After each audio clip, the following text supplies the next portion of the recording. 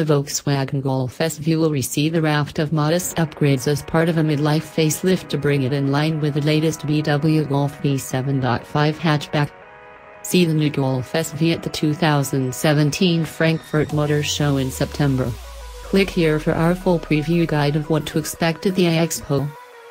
What's new on the 2018 model year VW Golf SV? New features on the Golf SV, short for Sports Van, include Traffic jam assist switch steers and brakes in congestion. Gesture control and latest infotainment system.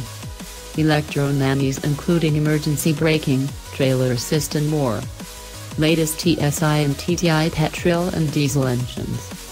Spot the facelifted SV by its newly contoured bumpers, redesigned headlamps, fresh LED rear lights and five new alloy wheel designs and diameters from 16-18 inches. The latest Discover Pro digital screens expands to 9.2 inches, but only in higher spec models.